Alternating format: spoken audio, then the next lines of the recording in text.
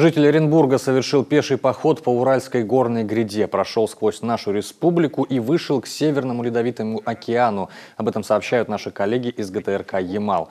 Как результат, прогулка длиной 3000 километров, 5 природных зон, 4 национальных парка, 2 заповедника, а еще Воркута на пути. И все это за 71 день.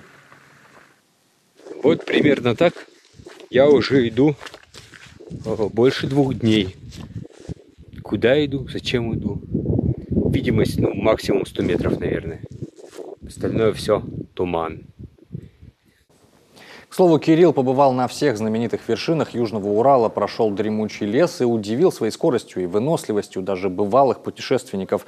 Сейчас он вернулся домой, однако уверяет, это не последняя его экспедиция.